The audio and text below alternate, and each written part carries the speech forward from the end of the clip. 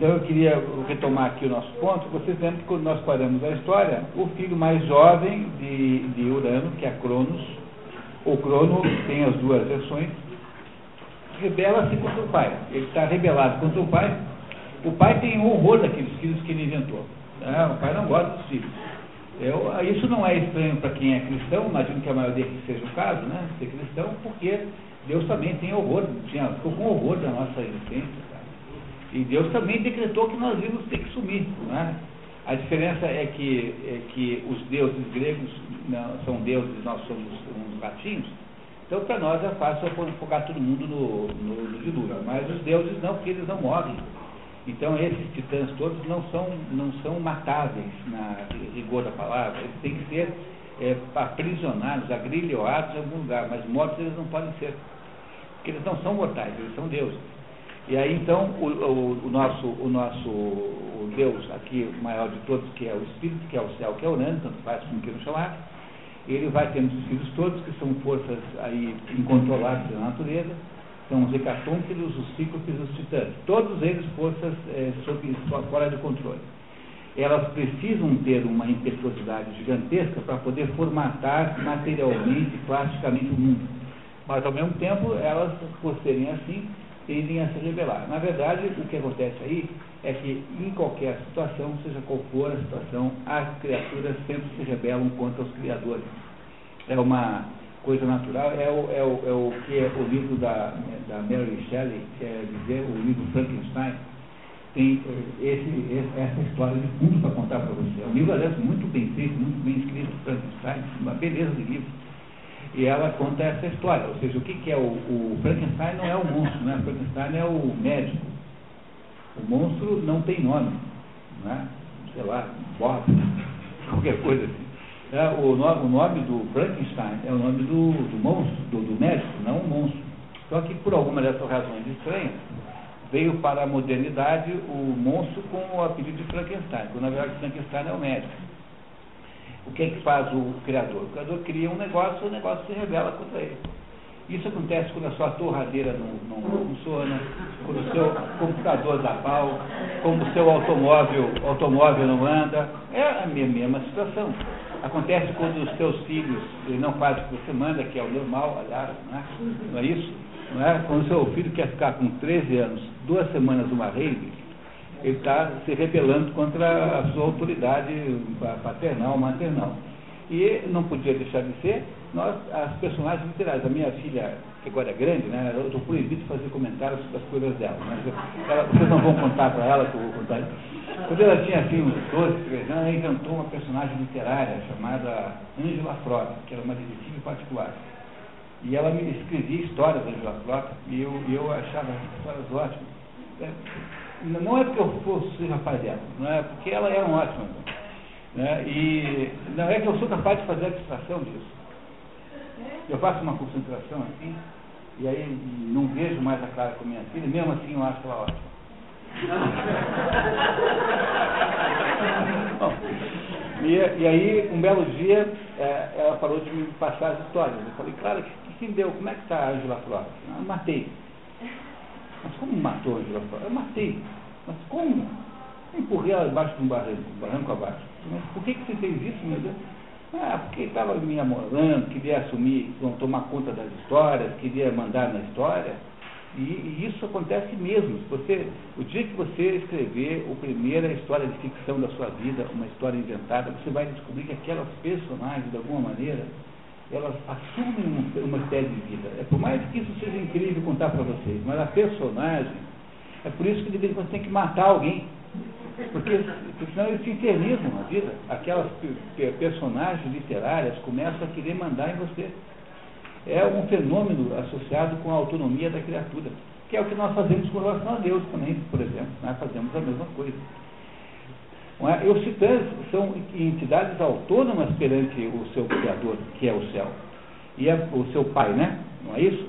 Elas são adequadas, a, né? estão adequadas à, à mãe.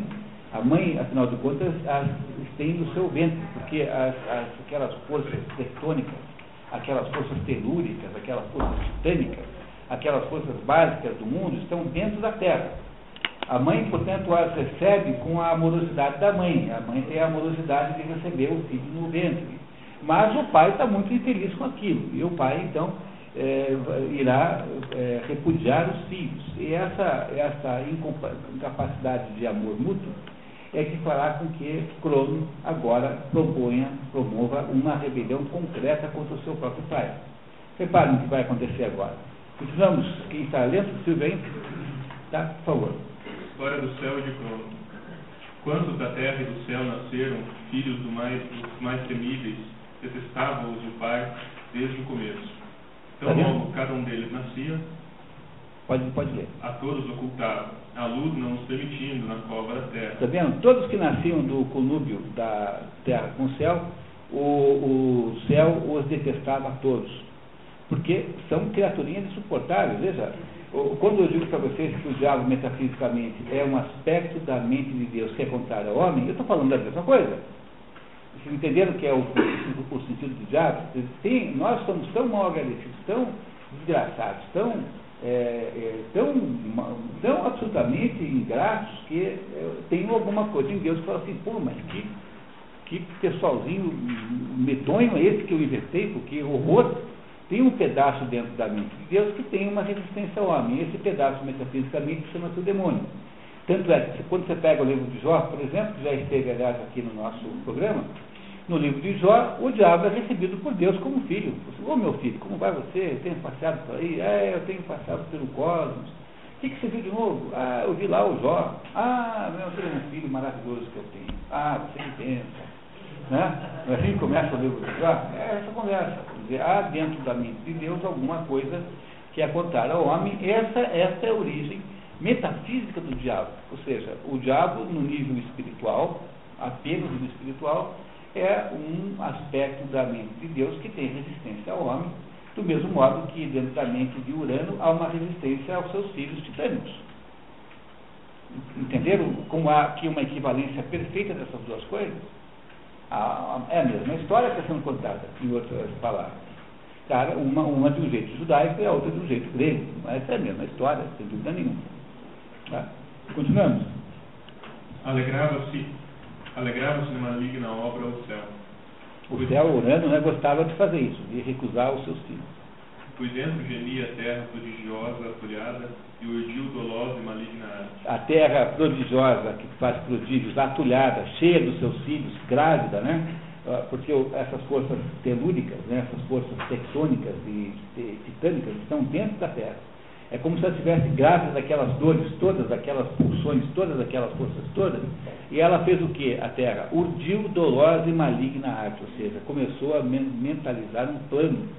E aí sabemos que o plano, a primeira guerra contra, contra Urano, contra o espírito, é urdida pela Terra. É Gaia quem produz um plano contra o céu. Está vendo? Ela começa a pensar no plano. Rápida criou o gênero do grisalho aço, forjou o grande podão e indicou aos filhos. O que, que, que, é o gênero do grisalho aço? Ela inventou o ferro, o aço. Grisalho por quê? Porque o aço é, é brilhante, né? Cinza, cinzentado, brilhante. Forjou grande podão. O que, é um podão? É uma foice. Inventou uma foice gigantesca e deu por filhos. Olha, vocês agora vão matar o pai de vocês. É terra quem está pedindo que as forças fundamentais, essas forças básicas da natureza, matem o espírito. É ela que está organizando a rebelião. Terra, Gaia. Pois não. É, na verdade, é, é, é, que aço aqui, cuidado, né? Não é no sentido moderno de aço, né? Que é o ferro temperado. O, o metal, aí o sentido de metal. O, o tradutor que chamou de aço mas não, certamente não havia aço aí, né? Não há modo de haver aço de verdade. Mas o ferro também tem uma aparência acinzentada, nesse sentido. Né? Continuamos. Disse com ousadia, ofendido no coração, filhos meus e do Pai histórico, se quiseres ter-me fé, puniremos o maligno traje de vosso Pai, pois ele tramou antes obras indignas. Filhos meus e do Pai histórico, não é? O que, que é Pai histórico? Pai estúpido, histórico é estúpido parvo, é, parvo, pecador. Se quiseres ter fé, se vocês acreditam em mim, puniremos o maligno traje de vosso pai. Que o traje? De prender os filhos todos lá nas profundezas da terra. É isso que ele fazia.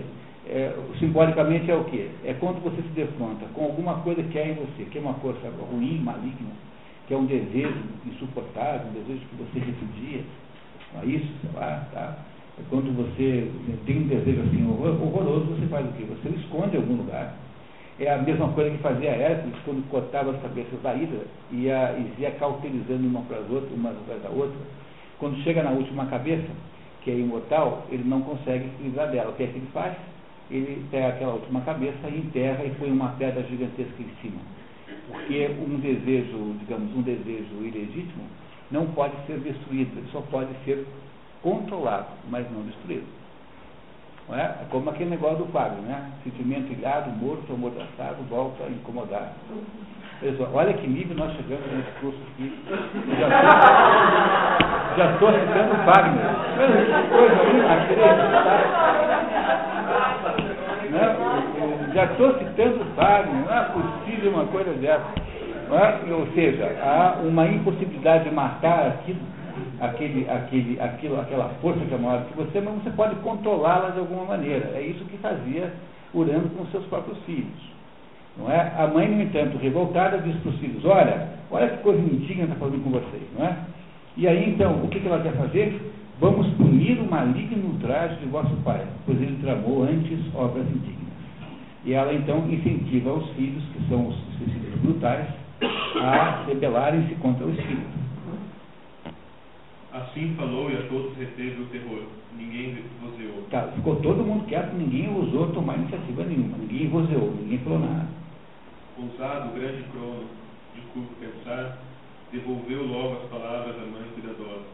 Mãe, isto eu prometo e cumprirei a obra, porque nefando não me importa o nosso pai, pois ele tramou antes. Então, ousado, grande curto pensar, o que é curto pensar? Cheio de truques, espertalhão, né?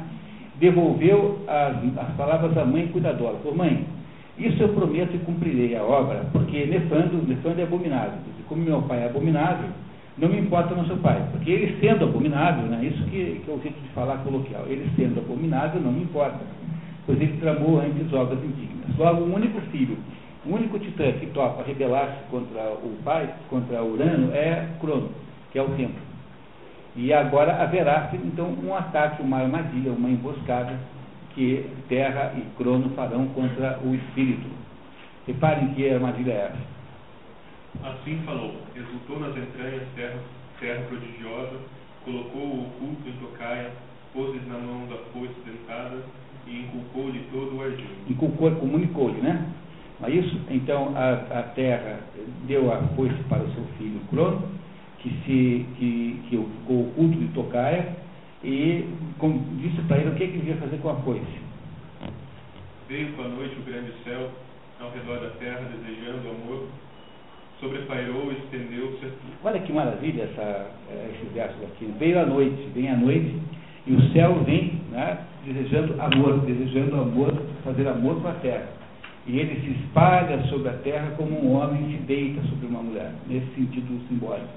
Não é? Então, nesse momento em que Crono fala, em que o céu fala isso, em que ele deitará sobre a terra, porque afinal o céu é mais visível de noite do que de dia, por causa das estrelas, ele tem uma visibilidade mais, uh, mais incontestável, né? porque o dia ele é um pouco diáfano, né? ele deita-se sobre a terra, na hora que ele vai se deitar sobre a terra para amá-la, não é isso? É isso que Urano fará, deitará sobre a terra para amá-la. O que acontece? De tocar. tocar, o filho alcançou a mão esquerda, com a destra pegou a prodigiosa foice longa e dentada. E do pai bem ceifou com isso e lançou a ermo para trás. Pronto. O Cronos sai do sua tocaia e castra o pai. Castra Urano. Isso é uma coisa incrível, essa história aqui. É, uma, é um negócio inacreditável, interessante. Porque, é, é, primeiro, o método como. O, o Crono não pode matar Urano, porque Urano é Deus, Urano não é mortal, não pode ser morto. Mas se você castra alguém, o que, que você faz? O que, que você impede? A reprodução. Você impede que aquela pessoa castrada fecunde, né, aquele homem castrado não fecundará mais ninguém. Ora, qual é o sentido simbólico disso? É que a partir daí, Urano não pode mais agir sobre o mundo. Por quê? Porque é o equivalente ao que está na Bíblia que no sétimo dia Deus descansou. É a mesma ideia, porque o que é Deus descansar no sétimo dia? É o, o, uma vez que o mundo está mais ou menos organizado nas suas condições básicas de existência, ele a partir desse momento se desenvolve, se, se desenvolve sozinho, no sentido próprio da palavra desenvolver. Desenvolver significa desdobrar-se nas suas múltiplas possibilidades. O que acontece com Urano, que a partir do momento que ele é castrado, ele não consegue mais secundar a Terra. E, portanto, a partir de agora, a Terra irá funcionar com os elementos que estão preparados, que estão presentes aí, com exceção daqueles momentos, daqueles elementos que são juntados no momento da castração, que é o que acontece agora. Né? Vamos saber o que é que juntou-se no último minuto, então, aos elementos terrestres para que o mundo pudesse funcionar a partir disso. Mas nada inerte escapou da mão. Quantos salpicos respingaram sanguíneo a todos recebeu a terra. Com o girar do ano gerou as erinhas duras, os grandes gigantes fútilos nas armas, com longas lanças nas mãos, e ninfas chamadas freixos sobre a terra infinita. Então, veja, os salpicos de sangue que eh, saltaram do ferimento de Urano eh, fecundaram a terra, caíram onde? Na terra. E, da, e daquele, daqueles, daqueles salpicos de sangue houve o quê? Houve uma fecundação da terra, uma última fecundação. E o que é que nasceu aí? as eríneas duras. O que, é que são as eríneas? As eríneas são as fúrias. O que é que são as fúrias? As fúrias são criaturas infernais, medonhas. Veja, elas nasceram aí. As fúrias são mais velhas do que os olímpicos, Zeus e seus companheiros. Portanto, os próprios deuses olímpicos, a começar por Zeus, estão subordinados a elas. Elas não devem nenhuma, ah, não devem nenhuma obediência aos deuses que virão depois. As fúrias e as, as eríneas são muito velhas. O que, é que são as curas exilíneas? São as entidades infernais que representam simbolicamente a culpa. O que, é que são as fúrias ou eríneas? Eríneas em grego, fúrias em, em, Roma. Né? São entidades, são três, basicamente. A mais conhecida é a Megera, uh, que, é, que a cura mais conhecida, tem esse nome, Megera, e que são entidades que passam o tempo todo no inferno, gritando no ouvido dos, dos, dos condenados tudo que fizeram de mal durante a vida. Repare que só podia ser mulher para executar essa. Os homens esqueceriam tudo, não iriam incomodar. É, você, no dia 13 de março de 1928, olhou para aquela mulher no supermercado, às 3 e 15 da tarde, é, às 3 e 15 da tarde, lembra? Estava de vestido verde, você estava de boné, de mangueiro tal. Né? Essa, essas coisas. Essas coisas. Não, porque é uma injustiça muito grande. Se você matar alguém, você fica 30 anos preso, quando você sai da prisão, nunca mais você é incomodado com esse assunto. Né? Mas com as, com, com as mulheres é impossível um grau de, de, de perdão desse tamanho. Né? Durante toda a sua existência será lembrado dos seus pequeníssimos, minúsculos desvios. Às vezes não tão pequenos, não tão minúsculos. Bom, mas enfim, né? Basicamente o que nasceu aí, pessoal, é o sentido de culpa. Veja, essas iríneas depois vão aparecer uma porção de peças. A mais importante delas é a Orestia, que é uma, é, é uma trilogia do, do, do Ésquilo, e que o, a última peça da trilogia, Eumênides, está no programa, não está aqui no esse ano, mas está no programa, né? 100 livros que foram escolhidos para esse programa aqui. É uma peça maravilhosa e só dá para entender a, a Berta Mendes se entender essa teologia. Por isso que dá para a gente botar ano que vem, talvez, aqui, não é? Possivelmente. Mas as fúrias são a ideia da culpa. A culpa é uma coisa ancestral, ela nasce antes de qualquer outra coisa, que é, no fundo, no fundo, a consciência do seu, do seu, do seu pecado, a consciência de ter feito alguma coisa errada, a consciência do erro. Nasceu de onde? Nasceu da castração do sangue que fertiliza a terra a partir da castração de Urano pelo seu filho Cronos. Não é isso? Também nascem, além das, das, das linhas, nascem os gigantes, é, rútilos áreas, quer dizer, brilhantes, coisas que nós não sabemos muito bem que são, com longas lanças nas mãos e ninfas chamadas freixos. Essas ninfas chamadas freixos é um dos mistérios da teogonia. Ninguém sabe exatamente o que é que significa isso. Não há ainda interpretação possível sobre isso. Entenderam o que aconteceu? Urano é castrado pelo seu filho e dessa castração respinga um sangue que acaba de criar as últimas condições sobre a Terra. Mas, uma, mas o pênis de Urano cai no mar E com a, a caída do pênis Urano no mar, nasce finalmente o amor sexual, que é a Afrodite que nasce daquela espuma do esperma de, de Urano dentro da água. E aí então você tem a ideia de que a água que é a matriz da vida. Né? Vamos ver, vai explicar isso em seguida. O pênis, tão logo cortando-o com o aço, atirou do continente num ondoso mar. Ondoso mar porque tem ondas. Né? Ondoso por causa de ondas. Aí muito boiou na planície. Ao redor, branca espuma da imortal carne ejaculava. Dela uma virgem criou. Então, a Afrodite não nasceu, né, não nasceu por, por ato sexual propriamente dito, né? Ela nasceu, nasceu, nasceu pela da espuma do esperma que escorria do pênis de Urano jogado dentro do mar. É? Nasceu, portanto, a ideia da reprodução sexual, que é aquela que preside, digamos, a vida dos, dos, dos, dos indivíduos mais, mais complexos, né? não é isso? Há uma, um grau de complexidade muito grande nos, entre os seres vivos, complexidade essa que corresponde mais ou menos a, a, ela corresponde diretamente a, digamos, a especificidade, não é isso? Se eu pegar um pedaço de pedra, der uma marretada e quebrá-lo em dois mil pedaços, esses dois mil pedaços serão o quê? Pedaços de pedra. Então, quando eu quebro uma pedra em dois mil pedaços, continuo tendo pedra. Mas se eu pegar um coelho e cortar no meio, eu não tenho dois coelhos. Não tenho coelho nenhum, na verdade. é, fico sem coelho nenhum. Portanto, aquilo que é complexo é muito específico, não pode ser dividido. É aquilo que é simples é que pode ser dividido. Esse é o sentido filosófico, digamos assim, uma interpretação filosófica da complexidade e da simplicidade. Bom, continuamos. Primeiro, Citéria divina atingiu, depois foi circunfluída Chipre, e saiu venerando a bela deusa, ao redor relva crescia sob esbeltos pés. É, Chipre é circunfluída porque é uma ilha, então tem fluido, fluido em volta. Tá? Circunfluída significa que ela é ilha, cercada de água. A ela, Afrodite, deusa nascida de espuma e bem coroada, Citéria, apelida um homem de deuses, porque da espuma criou-se, e Citereia porque tocou Cítera. É, não, tocou aqui no sentido atingiu a ilha de Cítera, tá? Não é que tocou Cítera como o rei de Shankar. Não, não é nesse sentido, tá? Tocou Cítera, que significa que atingiu a ilha de Cítera, né? nesse sentido. Cítia porque nasceu na ondosa Chipre, e amor do pênis porque saiu do pênis à luz. Eros acompanhou-a, desejo seguiu a belo, tão logo nasceu e foi para gregos Deus. Então, Eros, que já existia há muito tempo, que já tinha nascido, acompanhou-a. O Eros, então, preside esse nascimento do amor sexual como uma variação do amor geral.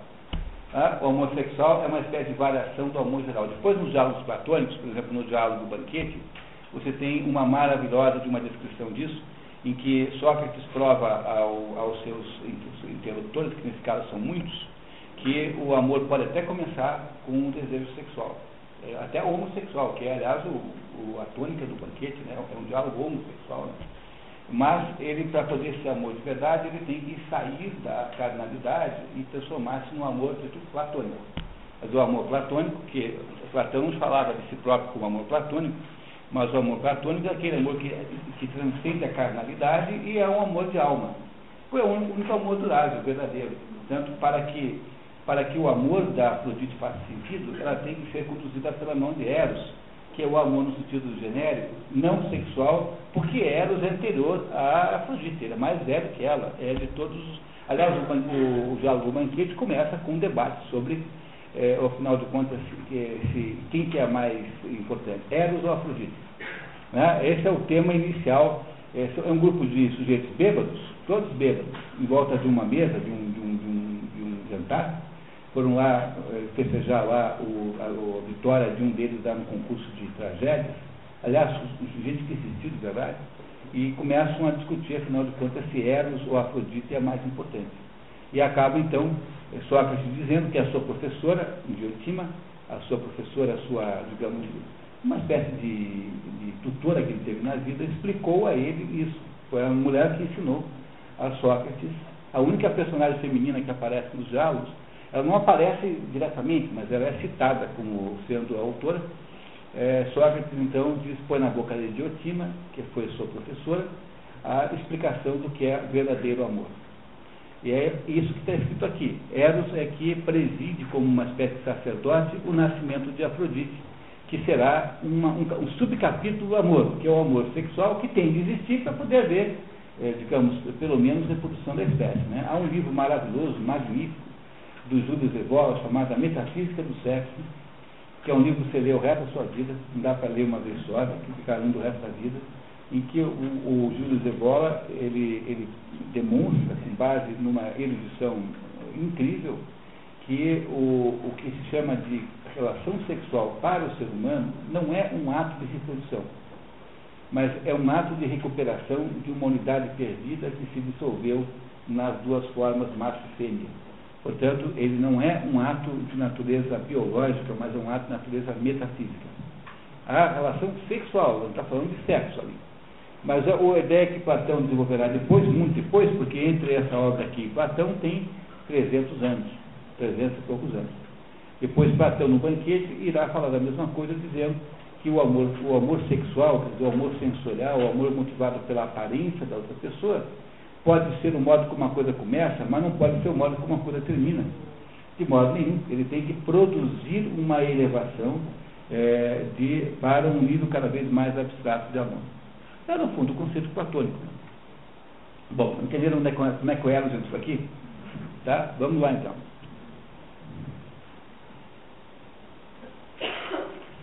Esta, esta honra tem. Que tem desde o começo? Esta honra tem desde o começo, e na partilha coube-lhe entre homens e deuses imortais as conversas de moças e sorrisos, os enganos, o doce gozo, o amor e a alegria. Viram que delícia é isso? Né? Né? Isso aqui é o amor que uh, nasce com a Afrodite. Esse amor, digamos, da, dos sentimentos, né? da, da, da, da, corte, da corte. Né? Da... Pois, pois não. Então, logo na O desejo não está, então, como uma. Existia isso. É, o, se diz o Eros? Não, desejo. É. Você está falando de que linha? Deixa eu ver aqui. Quarta, uh, Eros acompanhou desejos, é, desejo, desejo já existia. Né? Desejo é desses deuses que são uh, personificações de abstrações. Não é isso? Tá? É, é, isso. Tá? Então o desejo existia como várias outras coisas. Veja, o, o, a poesia aqui chamada teogonia não é, não, ela não é um relato exaustivo. Né? Tá? Tem várias outras coisas que vão acontecendo. Agora, na última, na última estrofezinha, agora vai ter a declaração de infelicidade de Zeus por ter criado aqueles filhos malditos. Tá? Vamos ver. O pai, com o apelido de Titãs, apelidou. O, foi nesse momento que Urano chamou os Titãs de Titãs. O grande céu, vituperando os filhos que gerou, dizia terem feito, na altiva estultícia, grande obra de é bem fácil. O grande céu que é Urano, vituperando, injuriando, xingando os filhos que gerou, dizia, o céu dizia, terem feito, eles terem feito quem? Os filhos, na altiva. A altiva é a soberba, estultícia, burrice, na soberba burrice, o que? Gran obra, uma grande besteira. Gran obra que é irônico, né? Fizeram uma barbaridade de que castigo teriam no porvir. Iriam se arrepender amargamente de ter feito isso. Pois isso é exatamente o que está na Bíblia quando você lê a expulsão do paraíso, mas é exatamente igual. É a mesma história. Vocês entendem que estão contando a mesma história aqui no Gênesis? É claro que um conta de um jeito judaico e o outro conta.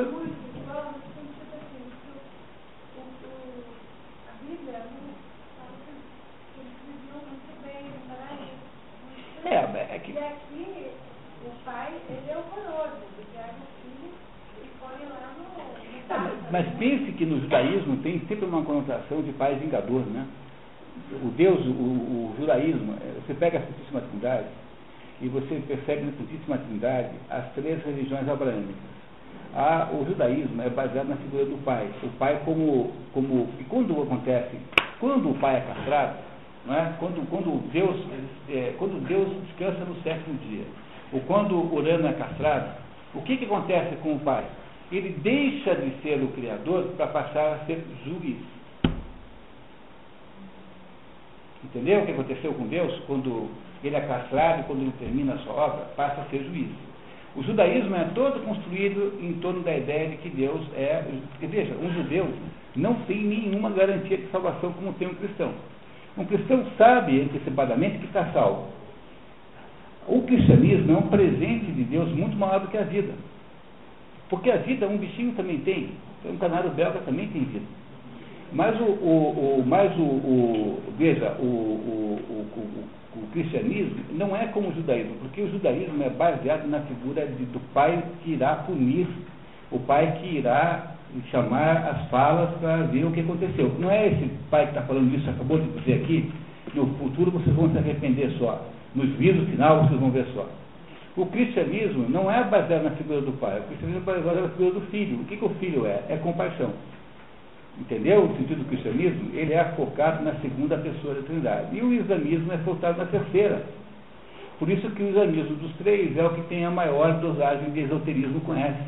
Porque, no fundo, o, a ideia do Espírito Santo né, é uma ideia de, de, de inspiração, em última análise. Só há, portanto, três religiões abraâmicas possíveis. São essas três que existem aí. E só essas três serão possíveis. Porque apenas três pessoas da Trindade. Claro que eu não estou dizendo isso do ponto de vista, essas, essas três religiões não concordam com isso, os judeus não acreditam em, em, em trindade, e os islâmicos também não. Entendeu? Eu estou fazendo uma interpretação cristã, eu sou cristão.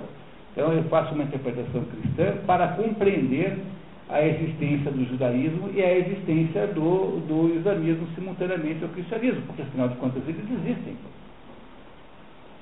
Não é? Ou seja, seria um assombro se as histórias fossem idênticas, mas isso não seria possível também, porque estamos falando de povos diferentes. Não é? Os gregos têm sempre uma conotação mais sexual, do que mais erótica, do que, do que os, judeus têm. É muito diferente, são culturas diferentes. Logo, o que há aqui de coincidência já é assombroso por si próprio. É? Já é assombroso por si próprio, porque não há divergências de fundo. Há apenas mudança no modo de contar. Não é isso? Pois não.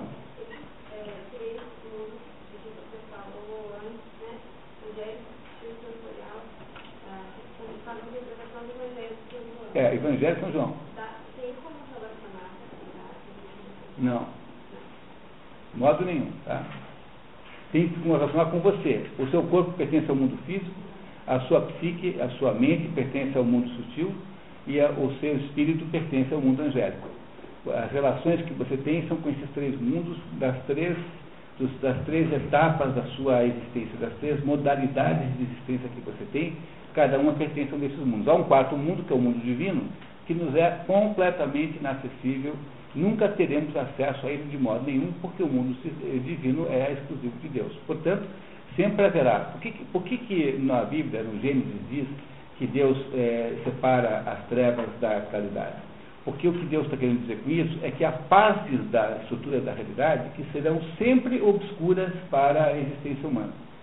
E se nós pudéssemos saber tudo que Deus sabe, sabe, nós não seríamos seres humanos, seríamos deuses. Portanto, seria, no mínimo, no mínimo, um enorme exercício soberbo. Logo, haverá sempre um grau máximo de acessibilidade que nós temos, que é o mundo angélico. É uma grande coisa.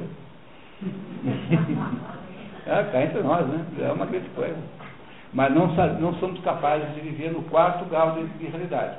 Deus manteve para si o grau divino é? e criou três graus novos, que cada um é um passo para trás que ele dá. Dá o primeiro passo para trás, criou o mundo angélico. O que é o mundo angélico? É o mundo onde estão as, as, as, as aspectos, cada anjo representa um aspecto da mente de Deus. Cria um passo para trás e há o mundo psíquico, o mundo sutil. E o outro terceiro passo cria um mundo material concreto. Esses, nesses três mundos nós temos condições de convívio. Nós temos capacidade de ligação. Você pega Santa Catarina de Sena, pega São João da Cruz, essa gente está lidando com o mundo espiritual de verdade. Eles não estão no mundo do, do espiritismo, no mundo da macumba, esse negócio de. de compreendem uma coisa dessa, pessoal? Ah, eu queria muito que vocês entendessem isso, porque essa conversa de que você vai lá na mesa branca, fala com o espírito, isso não tem absolutamente nada a ver com o espírito. Você está lidando com entidades do mundo sutil que você não tem a menor ideia de quem seja. Menor ideia de quem seja. Portanto, é melhor não fazer isso. Né? Entendeu? É melhor não fazer, porque você não sabe o que você está fazendo. Por exemplo, coisa mais perigosa do mundo: quatro adolescentes na praia, Aí acaba a luz, aí vai ter um sujeito que vai ter a ideia de acender uma vela, pegar um copo e ficar brincando de falar com os espíritos com o copo. Olha, eu tenho um, um negócio de bruxaria chamada mesa Ouija. Né? Essas coisas são perigosas. Eu conheço cada caso escabroso, vocês não vão imaginar se acontece aqui. Corpos que voam na parede com toda velocidade, se partem em centenas de pedaços, gente que enlouquece, fica cinco dias falando uma língua estranha. Olha, tudo isso já havia acontecido. Não é para fazer essas coisas, porque você se mete num mundo é, que você não entende como é. Aqueles fenômenos são todos verdadeiros, mas eles são incompreensíveis e não têm nenhuma importância em última análise. Não, não vão salvar sua alma, não serve para nada, a não ser para você criar problemas na sua vida. Não é para se meter no mundo sutil. Essa que é a, a, o conceito básico. Não é para ler tarô.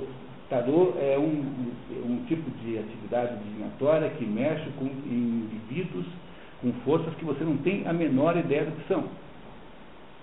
É, tudo isso é perigoso. Tá? Você tem, se você é uma pessoa extremamente, você tem um treinamento extraordinário, pessoal, se você é extremamente maduro, sobretudo se você tem uma confiança estupidamente grande em Deus, tá, pode fazer essas experiências, mas se não tiver isso, não é melhor não fazer nada disso. Fica no seu mundo concreto, vai para a missa, a missa que é melhor. Entendeu? A missa nunca vai te fazer mal, pronto, acabou. Mas isso que, de modo geral, acha, acha que é o mundo dos espíritos, não é o mundo dos espíritos. É o mundo da, das entidades sutis. E as entidades sutis, como qualquer, um, como qualquer outro mundo, tem um polo luminoso e tem um polo abissal. E, e, você não sabe se você está falando com um polo luminoso ou com um polo abissal. Entendeu? Há cartas que o Chico Xavier, o Chico da essas coisas não são para fazer com toda a sinceridade, assim, com, dando um conselho prático assim, na vida, não, não, não tem cabimento, tá? porque você está, você vai acabar transformando isso em uma mistificação, não vai resolver nada para você e você corre riscos enormes. Melhor não se meter com o mundo sutil. Tá? e tentar ver, manter sempre o seu mundo espiritual protegendo o mundo sutil, do, protegendo o seu mundo psíquico. Porque se você tem três, três níveis de existência, físico, psíquico e espiritual, pela hierarquia natural das coisas, o mundo é, espiritual tem poder sobre o mundo sutil, psíquico, e o mundo psíquico tem poder sobre o mundo corporal. Por exemplo, uma pessoa que sofre muito, que tem o corpo muito sofrido, alguém que sofreu um acidente, ou tem uma doença muito grave, uma doença muito dolorosa, vocês viram alguém assim piorar espiritualmente? Viram alguém que piorou por causa disso? Quase sempre é o contrário aquela, aquela mortificação do corpo melhora muito o mundo espiritual da pessoa. Agora, vocês já viram alguém que se metido em macumba, não sei o quê, que tenha uma, uma, uma, uma que tenha melhorado o corpo por causa disso? Não acontece o contrário, entendeu? Há uma hierarquia natural das coisas e a única solução que tem é você pedir ajuda ao mundo espiritual para te ajudar. Porque o mundo sutil é um mundo cheio de, é, de contradições, como é o mundo físico também, a natureza física, né? A natureza tem, portanto, aspectos benignos, porque ela é, como diz aqui o Isildo, ela é a sustentação de tudo, de tudo que há, mas ela mata você, pô, porque a natureza tem o tsunami, a natureza tem a cólera, a natureza tem a varíola, a natureza tem todos todas as pragas que matam você. A natureza, portanto, tem tanto os componentes positivos quanto os componentes negativos. Então, os dois ali. A única solução que tem para você é ficar com o mundo espiritual, que é 100% benigno. Pronto, esse não tem eu. Então, gruda lá que para baixo ajuda a funcionar. Compreendeu? Tá? É mais ou menos assim. Na prática, é isso que faz. Tá? Continuamos. Os filhos da noite. Isso aí nós vamos, nós vamos pular, pessoal, porque nós não temos tempo. E, basicamente o que significa isso é que agora ele começa a fazer uma longuíssima dissertação, nós não vamos perder muito tempo para ver isso aqui, dizendo todas as coisas que vão nascendo agora como descendentes dessa entidade. Lembrem que Urano não está mais criando o mundo. Agora, então, o que é criado? É criado a partir dos elementos que já existem. Não é? E, e essas coisas todas vão enchendo o mundo das características que o mundo tem. E esses são os filhos da noite, os filhos do mar, e assim por diante. Então a gente pula isso né, a linhagem do noite, a linhagem do mar, a linhagem do céu, pula isso tudo, e pula aí também o próximo, que é o hino a aqui. O hino a Hecate é provavelmente uma interpolação, porque Hecate é uma deusa muito polêmica que acabou se, se, se caracterizando como sendo a deusa da, da bruxaria, da feitiçaria. A Hecate, ela mora nas encruzilhadas. Essa é a razão pela qual eh, os bruxos modernos fazem essas macumbas na, nas encruzilhadas. Já era assim no tempo dos gregos. Não é, não é nenhuma novidade. Né? As encruzilhadas têm um aspecto, portanto, simbolicamente é, entre o bem e o mal, ou seja, um aspecto, digamos, de decisão, né? de decisão radical de duas coisas. Na encruzilhada que o Édipo encontra o laio. É, é isso mesmo. Na encruzilhada é que o Édipo encontra o laio que ele matará. Ele podia não ter morto. Se ele não matasse o pai, laio, né? Ele teria tido uma, um desempenho, um, desdobramento completamente diferente. Isso mesmo. Tá? Portanto, a Hecate é a deusa das encruzilhadas. E, a, e, ela é uma deusa muito polêmica, porque há muitas e muitas versões. Em todo caso, nós não vamos nos preocupar com ela e vamos direto para o nascimento de Zeus. Porque aí é a continuação natural da história que, que nós estamos lendo aqui. Né? Ok? Muito bem. Continuamos então o nascimento de Zeus, por favor, Silvio. Reia, submetida a Crono, pariu brilhantes filhos. Lembra que o Cronos agora tomou o poder, né? Ele está sentado agora no trono é, maior e, casou com a Reia. Veja, a Reia é irmã dele. Todos esses deuses, aí todos os titãs e todos os olímpicos, são todos incestuosos, todos eles casam com a irmã. Tá? É por isso que você não consegue fazer a genealogia desses deuses, porque todo mundo é pa parente de várias maneiras. Você é sobrinho do seu pai, ao mesmo tempo que você é, é, é tio da sua mãe, coisas do gênero assim. Porque eles são incestuosos, então é inútil tentar fazer uma genealogia que você faz da sua família, em que há casos assim esquisitos de pouca quantidade, né? Não é isso normalmente. Né? Agora, no caso dos deuses, não, porque você tem, você tem 12 é, titãs e 12 olímpicos. E eles estão todos casados entre si, homens com mulheres. É? E Zeus, portanto, é filho de Crono, que é um titã, casado com Reia, que é uma titânide, que são irmãs, que são irmãos, mas ele é filho desses dois aí. Não é isso? Portanto, agora nasce a segunda geração de deuses. A primeira foram os titãs, que, que, que derrotaram, digamos assim, simbolicamente pela mão, é, pela mão de, de Cronos, é, fizeram. O único titã que ficou contra foi o Oceano. O Oceano é o único que resistiu à ideia de atacar o pai. Os outros todos, em princípio, não queriam fazer, mas não estavam contra. E agora nasce uma nova geração de deuses chamados olímpicos, porque são os que irão morar no Olimpo, que ainda não moravam no Olimpo. É, desses deuses olímpicos, o último a nascer é Zeus. Então, é, por isso que ele joga, depois que ele joga o tênis durante 12 anos, é por isso que ele Não, porque não, não é isso que, que, que está implícito aqui. É, o, o, é como se houvesse por acidente, dizer, como se for o ato de castrar tirasse uma força mecânica que fizesse cair lá. Ele não foi jogado de propósito. Ele, nós sabemos que caiu no oceano, mas não sabemos se foi jogado de propósito. Não parece ter sido de propósito. Tá? E agora vai nascer a nova geração de que o último é Zeus. Não é isso? Vamos lá então. Agora começa a Reia, casada com o seu irmão Crono, que, que é quem manda agora. Não é isso? Urano foi castrado, portanto não tem poder de ação sobre o mundo não é? está prisioneiro da sua impotência, quem é castrado é impotente, né? rigorosamente não pode agir sobre o mundo.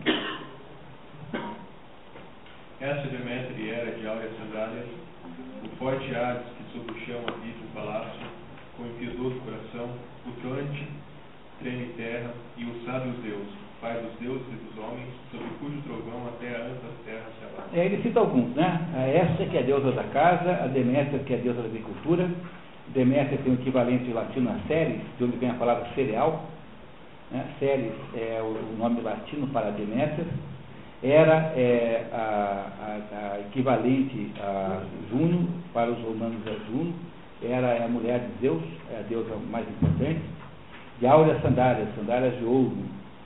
Do forte Hades, o Hades é irmão de Zeus, que será depois, mais tarde, encarregado de cuidar do submundo do inferno, que também chama Hades que sob o chão habita um palácio, porque ele mora no inferno, que é sob o chão. Com impiedoso coração, ou seja, quem conduz à morte né, tem que ser um impiedoso, porque a morte é irreversível. É, o troante treme terra, o troante treme terra é Posido. Posido ou Poseidon, que os romanos chamam de Netuno, é a mesma coisa. Ele tem esse apelido de treme terra, é Posido ou Poseidon, e que vira Netuno para os romanos. E o sábio Zeus, sábio Zeus, sábio, pai dos deuses e dos homens, não é? É sob cujo trovão a ampla terra se abala. Zeus aqui é, é apresentado por Exildo como o mais importante de todos os deuses. Esses todos aí são os olímpicos, que é uma geração que nasce do casamento de Reia e de Cronos, que são irmãos e são ambos titãs, titã e titânide. E esses aí não se chamam mais titãs e titânides, chamam-se olímpicos. E, e, são esses que acabarão reinando, né? Tanto é que vocês, quando ouvem falar em Zeus, lembram sempre do, do Deus, do Deus dos gregos.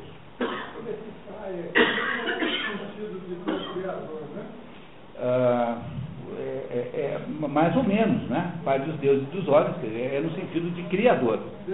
De criador. O que é interessantíssimo, porque os gregos não têm uma Acho que a sua pergunta tem um sentido interessante, porque os gregos não têm uma noção de criação. Então, Aristóteles acha que o mundo não foi criado por, por Deus. Acha, Aristóteles acha que o mundo é eterno, não foi criado por ninguém.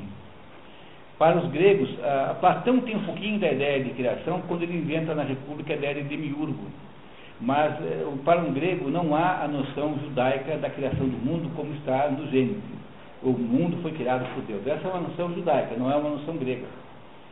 É, e aqui, então, é, a sua pergunta vai nos levar a pensar assim: será que esse Deus aqui não tem um sentido além de criador? Eu acho que é isso mesmo. Ele tem um sentido assim de condutor, de orientador, de, de tutor, tutor, mais do que de criador. Mas acho que você tem razão, é isso mesmo. Muito bem.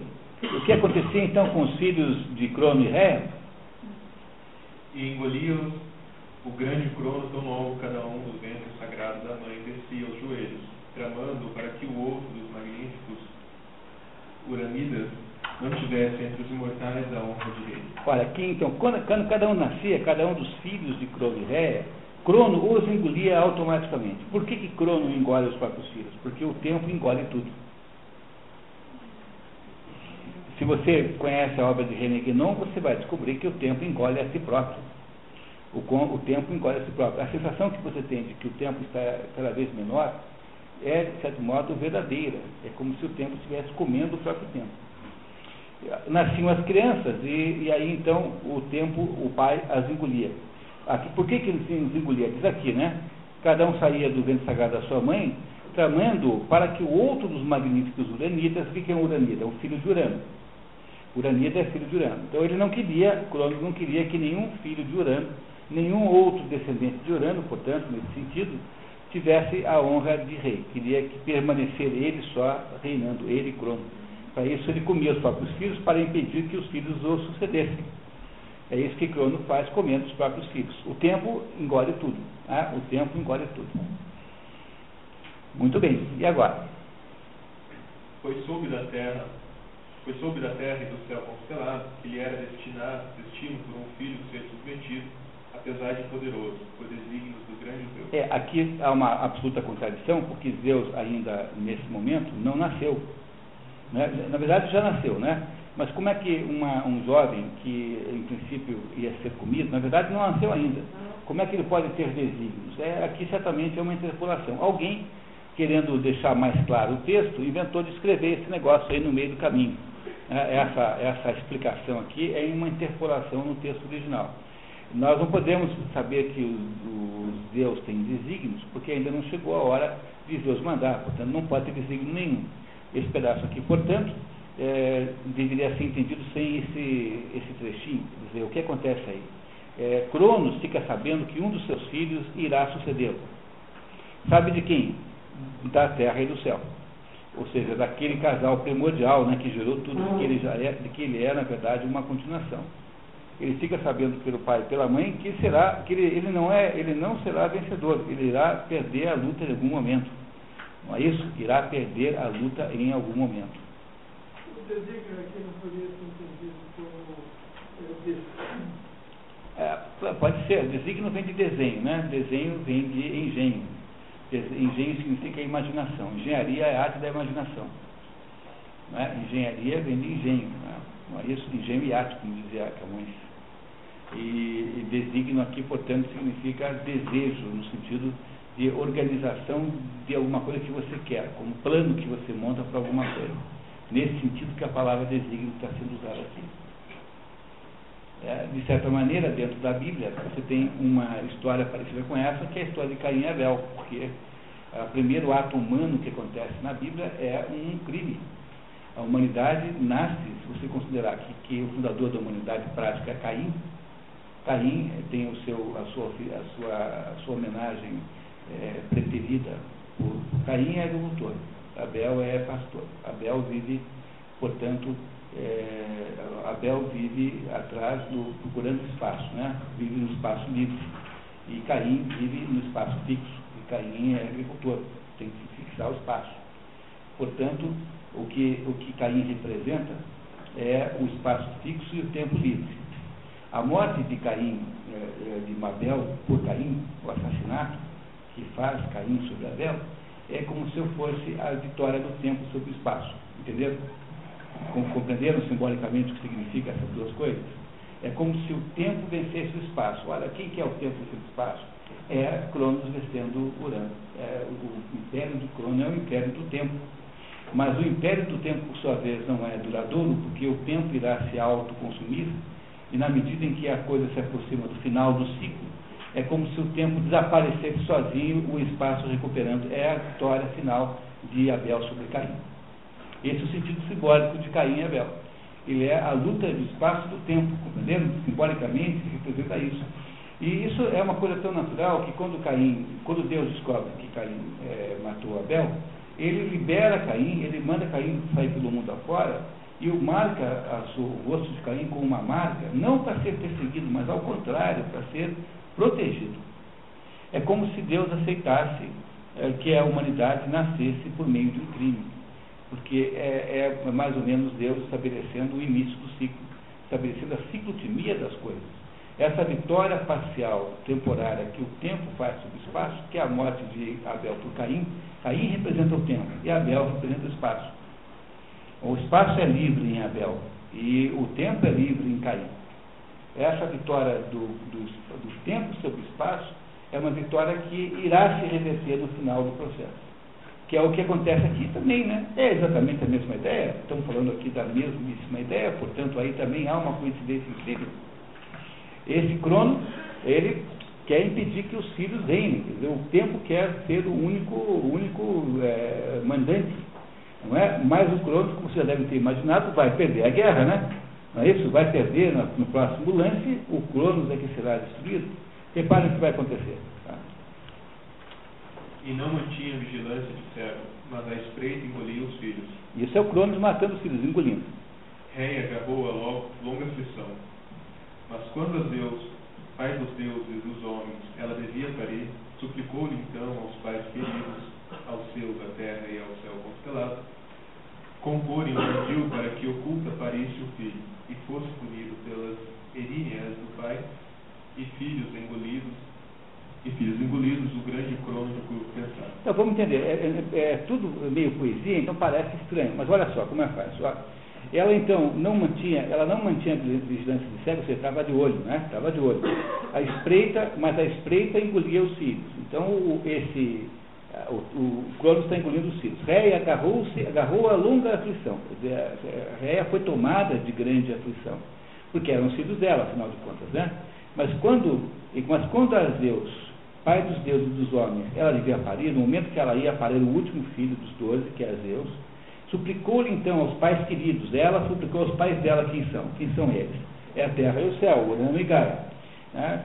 que aos seus, né, a terra e o céu constelado, o cara compor um ardil para ajudá-la a montar um truque que ocultasse, pudesse, que ela pudesse parir, oculta esse último filho, e que o pai, né, e que fosse punido pelas linhas do pai e filhos engolidos o grande crono. O grande crono de pensar o grande crono pilantrão, fosse punido pelas eríneas, eríneas, ou seja, pela culpa, pelo sentimento de culpa. Porque aí, veja, o, o, a culpa já existe, né? A culpa já existe no mundo.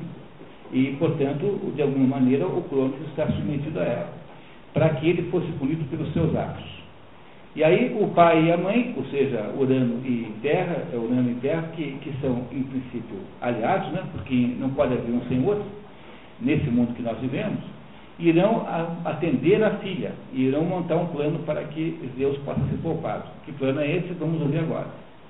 Eles escutaram e atenderam a filha querida e indicaram quanto era destino ocorrer ao rei Crono e ao filho de violento ânimo. Enviaram-na a Líquido, da região de Creta, quando ela devia parir o filho de ótimas armas. O grande Zeus recebeu terra prodigiosa na vasta Creta para nutri-lo e criá-lo. Então, mandaram a filha, a Réia, para Licto, gorda região de Creta, ou seja, opulenta, rica, onde ela devia parir o filho de ótimas armas, o filho com muitos poderes, que é Zeus. E recebeu a terra na prodigiosa vasta Creta para nutrir e. Portanto, ela escondeu esse último rebento do seu pai, do Cronos. Como é que o Cronos foi enganado? Vai contar agora. Aí, levando através da veloz noite negra, atingiu o primeiro líquido e com ele nas mãos escondeu em gruta íngreme sobre o covil da terra divina no monte das cabras, denso de árvore. É, do mesmo modo que Jesus nasce numa gruta, Zeus também nasce numa gruta. É, é claro que aqui eu, eu, acho que é um paralelo também, né? É um fraco, mas é um paralelo, não há dúvida nenhuma. Né? Tanto os dois nascem, os dois nascem numa gruta, tanto um quanto o outro grande pedra e entregou-a ao soberano rei dos antigos deuses. Encoeirou uma pedra, quer dizer, colocou uma pedra dentro de um coelho. Coelho, para quem não lembra mais, né, que já não é mais criança, era antigamente um tipo de, de pano com que você enilhava a criança. acho que ninguém usa mais isso, né? Hoje você usa fralda descartável, sei lá, e, e, e tip-top. Né? E aí encoerou os Zeus, encoerou uma pedra e deu a pedra para o pai, para o Cronos comer. O Cronos, achando que a pedra era o filho, comeu a pedra. Tomando-a nas mãos, meteu-a ventre abaixo. O coitado nem pensou nas entranhas que deixava. Em vez de da pedra o seu filho vivo e seguro ao poder. Ele, com, com violência em mãos, dominando, logo o expulsaria da honra e reinaria entre os Pronto. Então, o Crono nem imaginava que ia ser deposto pelo filho, pelos Zeus, não é? Deposto com violência. Haverá uma luta em seguida. E aí há aqui uma coisa importantíssima, que é o próprio conceito de violência no processo do mundo. Porque reparem que o mundo é todo feito por violência aqui, né? E também há aqui na deposição, não, para o espírito poder recuperar o poder, é preciso que isso seja feito com alguma violência. Não é um ato pacífico a recuperação. Veremos em seguida, tá? Não se preocupe. Mas aqui já está pronta a possibilidade de inversão completa do jogo, quando então Zeus, que representa Urano, ou seja, Zeus representa o espírito, irá fazer o contra-ataque para retomar o poder nesta, nesta dupla, né, dentro dessa equação chamada espírito e matéria. Não é? A matéria estava sendo culpada pelo Cronos, ele só tem tempo na mão da matéria. Para Deus não há tempo. Vocês, vocês entendem?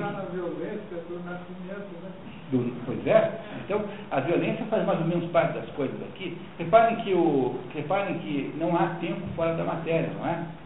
Uh, eu só consigo medir o tempo como função da distância. O tempo não tem mensuração possível direta. O tempo é aquilo que demora para você andar 400 km a 80 km por hora. não é isso? É isso que significa o tempo. Né? Tempo é alguma coisa que eu meço apenas em função da distância. Eu não consigo medir o tempo de verdade. Eu meço o tempo pelo movimento dos astros, pelo movimento da lua, enfim. O tempo não é autônomo fora do mundo do espaço. Não pode haver tempo sem espaço. Portanto, não pode haver cair sem Adel. E esse é o problema central. O cair sem Adel irá se auto-imolar com o tempo, irá se autodestruir na medida em que as coisas forem andando. Né? Então, o que, que esse, essa ideia aqui representa? Representa que no mundo de Deus, no mundo em que Urano está, no mundo em que Deus existe, não há tempo. O, o, o Master Akkad dizia assim, perguntaram assim para Master, quando foi que Deus fez o mundo? Dizia, Deus está fazendo o mundo agora. Porque para Deus não há essa noção de tempo. Deus vê as coisas todas simultaneamente. Deus sabe tudo ao mesmo tempo. Para Deus o mundo acontece todos simultaneamente. Não há tempo no mundo de Deus. Logo, Cronos só é alguma coisa que pode existir no reino exclusivo da matéria, porque não há tempo no reino do espírito. Compreendendo isso, que não há tempo no reino do espírito, só há tempo no reino da matéria. Logo, a pretensão de Cronos de continuar mandando é uma pretensão impossível, que terá obrigatoriamente de ser resolvida com o quê? Com a sua própria deposição. É preciso depor Cronos. Quem é que deporá Cronos? Zeus. No segundo round da luta, no primeiro a matéria vence. Então, a matéria assume poder. Os titãs venceram, as forças fundamentais venceram, mas no segundo round, Zeus fará o contrário e depois de uma luta muito feroz, chamada titanomaquia, uma luta de titãs, haverá a recuperação do poder pelo, pelo Espírito, que é que Deus, Deus representa. E aí vocês já desconfiaram que aqui há o tempo todo uma, uma espécie de, de contraposição básica entre Urano barra Zeus e Geia barra Cronos. Ou melhor, Geia barra Titãs. Há? há uma contraposição de duas forças em luta aqui. Urano barra Zeus, que é um grupo, contra Geia barra Titãs. Essa é contraposição, é uma espécie de luta permanente entre as coisas do espírito e as coisas da matéria, que é a luta humana fundamental, porque ele está falando aqui da estruturação da mente humana, é isso que está sendo contado para nós, em última análise, é como funciona a nossa existência. Nós existimos dentro desse confronto fundamental, nesse conflito que há entre a matéria e o espírito. Mas não é exatamente a mesma coisa que está no, no, no, no no, no Gênesis, é exatamente a mesma coisa, porque nós temos que escolher entre criatura e, criador. Nós temos que escolher entre sermos deuses e sermos criatura. O pecado original é a escolha por sermos eh, tão grandes quanto Deus, porque o, o, que nós fazemos é comer aquele fruto a, a pretexto de que saberemos tudo que Deus sabe. Portanto, é uma rebelião da matéria contra o espírito também. No fundo é a mesma situação, não tem nenhuma diferença. Logo, não há nenhum modo de você julgar que o mundo grego seja politeísta. Mas não é politeísta de jeito nenhum, não há nenhum politeísmo isso, ao contrário, é monoteísmo puro.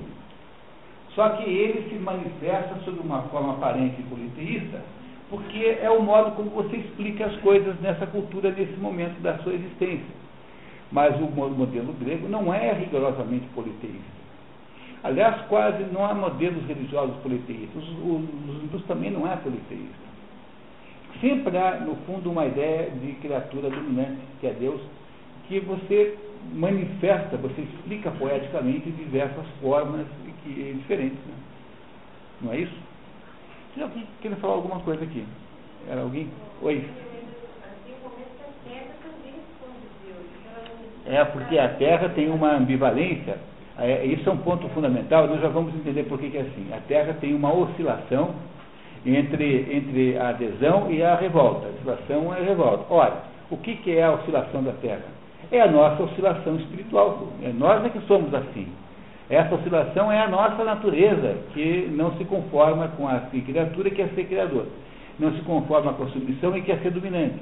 Ou seja, a condição de, de a, nossa, a nossa materialidade envolve uma oscilação, uma, uma espécie de indefinição de visão de mundo. E essa é a desgraça humana, porque um cachorro não tem esse problema. Um cachorro sabe-se cachorro.